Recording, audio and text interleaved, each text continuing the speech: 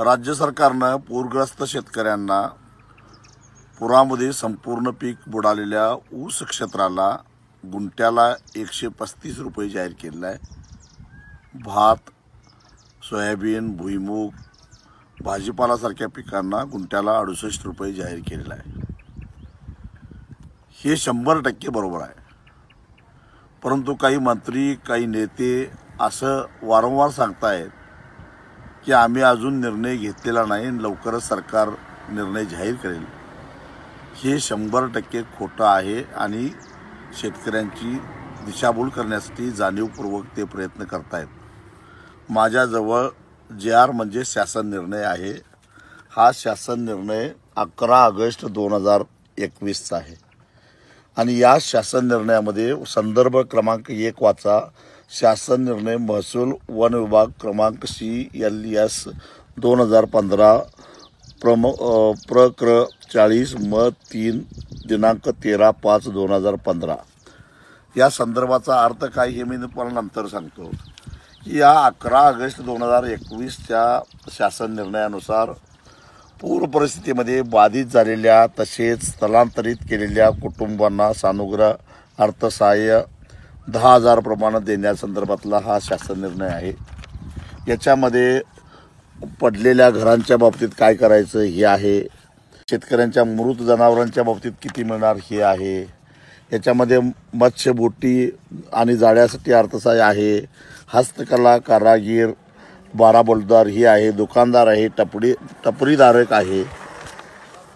सगळं सगळं आहे पण याच्यामध्ये कुठंही शेतीचा उल्लेख नाही.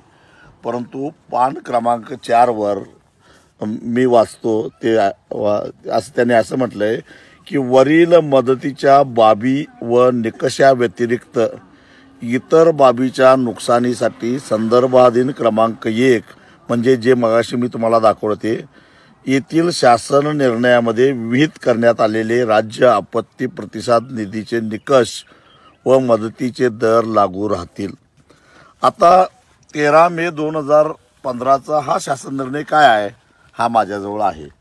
हा आहे दिनांक तेरा मे दोन हजार पंधरा हा शासन निर्णय.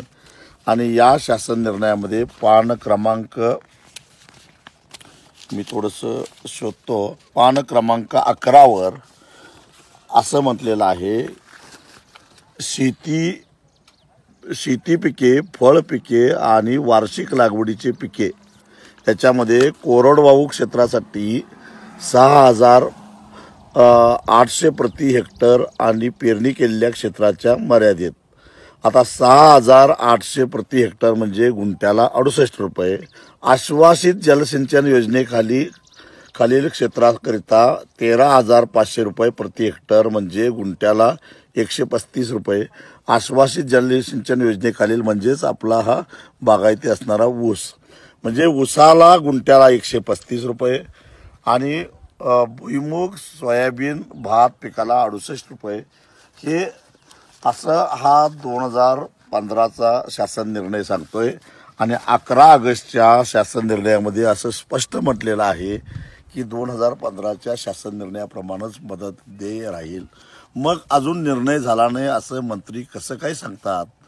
केवळ वेळ काढू धोरण का राबवायचं विषय तसाच ठेवायचा भिजत ठेवायचा आणि मग लोकांनी विसरल्यानंतर ते पैसे खात्यावर वर्क करायचं.